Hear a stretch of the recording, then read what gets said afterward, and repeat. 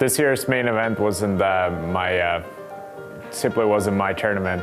Um, I struggled to get anything going, really the whole uh, the whole day one and uh, day two as well. And uh, my stack was simply just uh, blinding away. Felt like I struggled to win many hands, and at the end I got it in with pocket fours versus queen five and unfortunately, uh, my opponent flopped two pair, and, and that was it.